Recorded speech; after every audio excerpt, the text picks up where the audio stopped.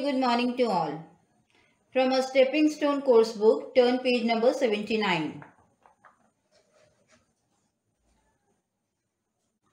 In our page number 79, we have an inspirational poem, How the Little Kite Learned to Fly. Before getting into the poem, let us talk about the poet and the poem. How the Little Kite Learned to Fly is written by Katherine Pyle. Katherine Pyle was an American children's author, artist and poet. The poem how the Little Kite Learned to Fly talks about a little kite who was scared to fly.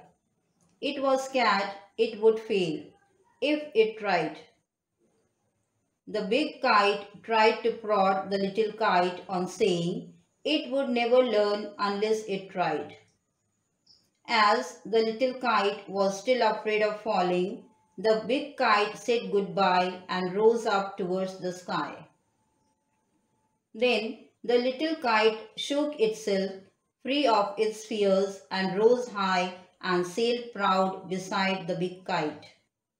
As it was the boys, as specks below, and the clouds and birds around, it was happy it had been brave and tried.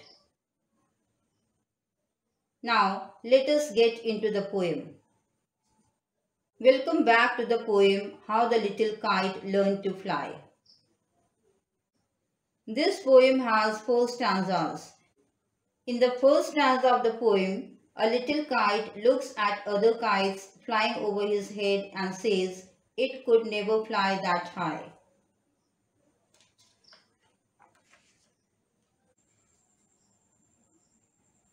Another kite encourages it to at least try. It says if the little kite won't try, it will never be able to learn. The little kite is scared and says it would fall. The other kite gives up and rises higher into the peaceful sky.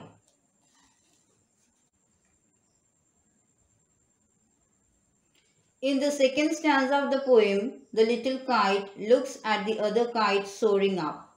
Trembling, it decides to try to fly higher up. Fearful at first, it rises higher, getting braver as it rises. The big kite looks at the little kite rising higher.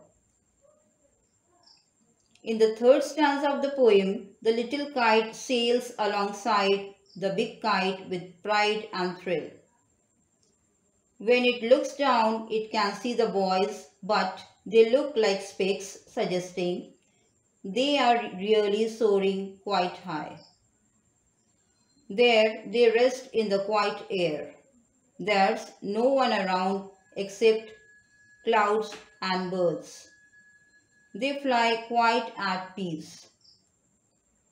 In the fourth stanza of the poem, the little kite realizes it's happy only because it found courage within and took a decision to try to do something it was so afraid of. Thank you.